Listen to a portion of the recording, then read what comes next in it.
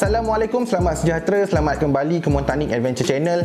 Okey guys, untuk video kali ini aku akan berkongsi perbandingan di antara dua sleeping system yang paling popular iaitu tent versus hammock. Daripada perkongsian ni kalau korang seorang beginners yang baru nak start aktiviti camping ni dan korang tak ready lagi nak spend uh, duit yang banyak untuk memulakan aktiviti ni, daripada perkongsian ni mungkin dapat membantu korang untuk decide sama ada korang nak beli tent dulu ataupun nak beli hammock dulu. Dan kalau korang dah start pun aktiviti camping ni agak lama, korang dah ada ada tent, korang dah ada hammock. Tapi untuk sesuatu trip tu kadang-kadang korang kena decide sama ada nak bawa hammock ataupun nak bawa tent untuk trip tu. Jadi daripada poin-poin yang kita akan kongsikan dalam video ni mungkin dapat membantu korang untuk pilih nak bawa sleeping system yang mana satu ah, yang terbaik untuk sesuatu trip korang tu. Situasi camping yang kita akan fokuskan dalam video ni dia lebih kepada aktiviti camping yang dilakukan di proper campsite. Boleh juga nak direlatekan kepada aktiviti camping sewaktu korang hiking ataupun wild camping. Tapi dia lebih fokus kepada camping di proper campsite. Perbandingan di antara tent dan hammock yang kita nak buat pada hari ini kita akan tengok daripada beberapa poin. Satu dia perlindungan daripada unsur alam sekeliling dan keselamatan barang-barang. Dua, saiz dan berat. Tiga, kesesuaian dengan fasiliti campsite. Empat, harga. Lima, kapasiti. Enam, keselesaan dan tujuh, privacy. Kita akan pergi terus kepada poin yang pertama iaitu perlindungan daripada unsur alam dan juga keselamatan barang. Okey, sewaktu camping ni perlindungan apa yang kita perlukan? Satu, uh, daripada panas ataupun matahari pada waktu siang, sejuk pada waktu malam, hujan pada bila-bila masa dan juga daripada ancaman haiwan ataupun serangga. Kita tengok pada tent dulu. Okey, tent ni dia dah datang dengan satu package yang dah lengkap dah. Dia ada inner tent, dia ada ground sheet dan dia ada outer layer ataupun fly sheet. Jadi dia adalah satu shelter yang tertutup. Ha, dia tertutup penuh. Jadi daripada segi perlindungan daripada unsur alam yang aku sebutkan tadi tu dia memang uh, boleh bagi perlindungan yang paling maksimum lah selain daripada perlindungan kepada kita ah, kita juga boleh simpan barang-barang kita dalam hammock jadi perlindungan kepada barang-barang kita bag-bag kita ah, mungkin lebih selamat ah, daripada risiko basah terkena hujan dan juga dia lebih selamat ataupun kurang risiko kehilangan ataupun dicuri sebab barang-barang kita tu dia tertutup di dalam kemah kita. Lihat daripada satu sisi lain pula dengan keadaan cuaca dekat Malaysia ni tent ni pada waktu siang dia memang sangat-sangat panas lah dan pada waktu malam juga kadang-kadang tetap panas. Jadi mungkin perlukan kipas lah untuk bantu pengudaraan dalam uh, kemah tu supaya lebih sejuk. Untuk perlindungan daripada haiwan dan serangga tent ni memang akan bagi perlindungan yang paling maksimum lah. Sebab dia jenis shelter yang tertutup tapi dengan kita kena pastikan kita sentiasa tutup zip tent kita. Kita pergi kepada hammock. Untuk jadikan hammock ni sebagai sleeping system kita perlukan satu benda lain iaitu fly sheet. Uh, biasanya fly sheet dengan hammock ni dia dijual berasingan lah. Dia tak datang sekali macam tent tadi. Dan kalau kita pakai sleeping system jenis hammock ni apa yang kita ada kita akan ada bumbung dekat atas lantai kita tak ada dan kita akan tidur dalam fabric ataupun dalam hammock tu mungkin 1.5 kaki ke 2 kaki daripada tanah. Jadi dia punya pengudaraan dia tu lebih baik kalau dibandingkan dengan tent dia lebih sejuk. Untuk pelindungan barang macam bag ataupun barang-barang berharga dia kurang lah kalau nak dibandingkan dengan tent sebab dia terbuka lebih expose. Jadi ada risiko kena mungkin kena hujan ataupun risiko ke- kehilangan ataupun dicuri lah jadi kalau guna hammock ni kena berhati-hati sikit lah dengan barang-barang berharga. Untuk serangga dan haiwan pula dia separa terbuka. Tapi hammock ni dia tak duduk atas tanah. Dia apa di atas tanah kan. Jadi ancaman untuk haiwan berbisa ataupun serangga yang menjala di tanah tu uh, insyaAllah selamat lah sebab kita dekat atas uh, kita tak duduk di atas tanah. Dan base daripada pengalaman aku sendiri pun yang dah guna hammock bertahun-tahun tak pernah ada lagi lah uh, kes di mana haiwan berbisa ke apa masuk dalam hammock. Tapi sebaiknya kalau korang sebelum masuk hammock tu cek dululah untuk keselamatan. Untuk kesesuaian dengan cuaca Malaysia pula uh, penggunaan hammock ni pada waktu siang kadang-kadang tu dia still still panas juga walaupun ada pengudaraan dia still panas. Tapi pada waktu malam dia lebih sejuk lah kalau nak dibandingkan dengan tent uh, that's why biasanya kalau pakai hammock ni memang kena pakai sekali dengan sleeping bag kena bawa sekali. Kita pergi kepada poin yang kedua iaitu saiz dan berat. Ini salah satu faktor yang penting kalau kita camping tu involve uh, ada trekking untuk sampai ke campsite. Kita tengok tengok tent dulu.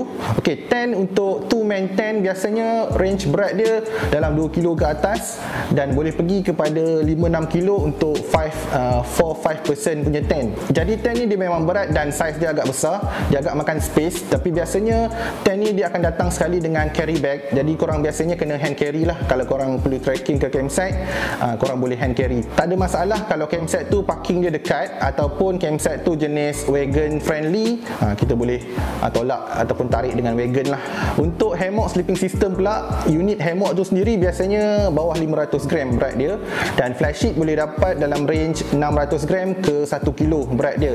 Jadi dia lebih ringan dan saiz dia pun compact. Jadi korang boleh sumbat masuk dalam bag korang untuk korang carry uh, ke campsite korang.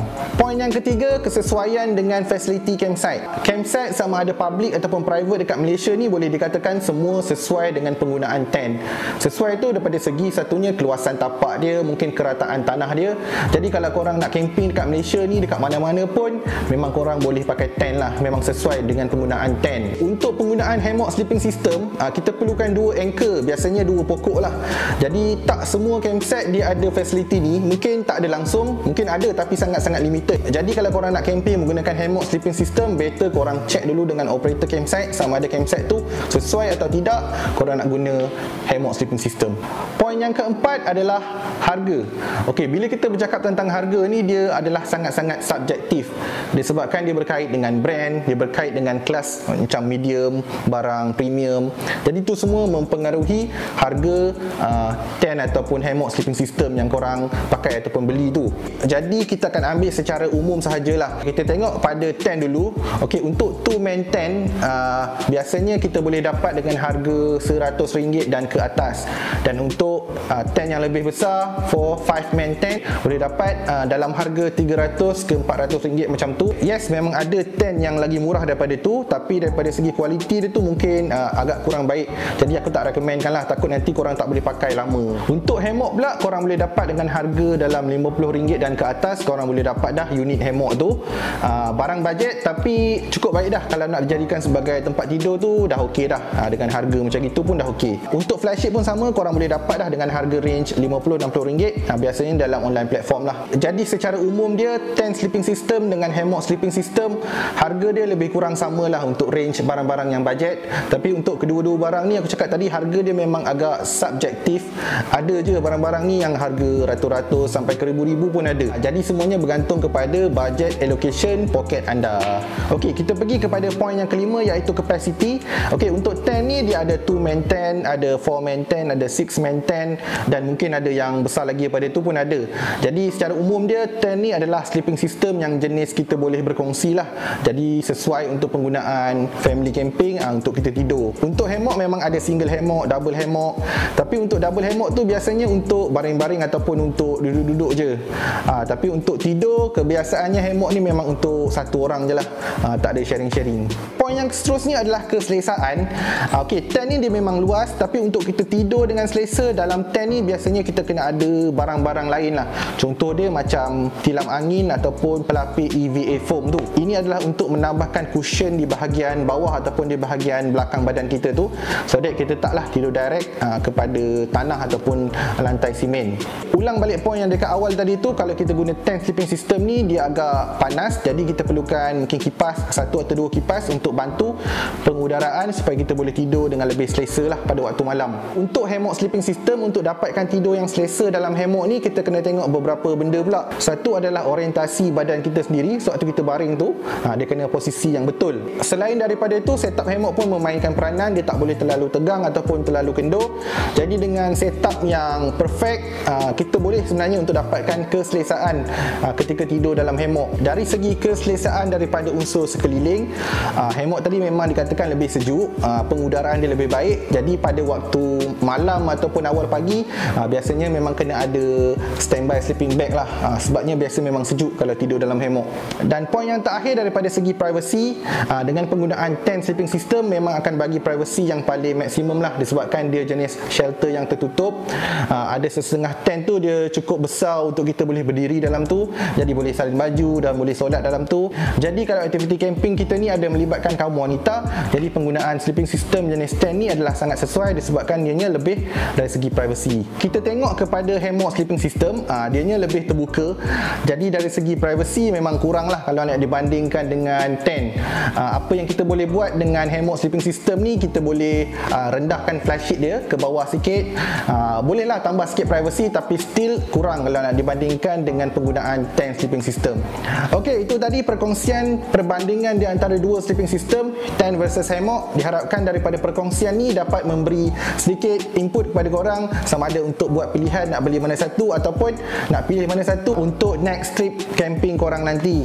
Jadi sekian untuk video kali ni. Jangan lupa untuk subscribe Montanik Adventure Channel. Jumpa korang lagi di video akan datang. Assalamualaikum. Bye bye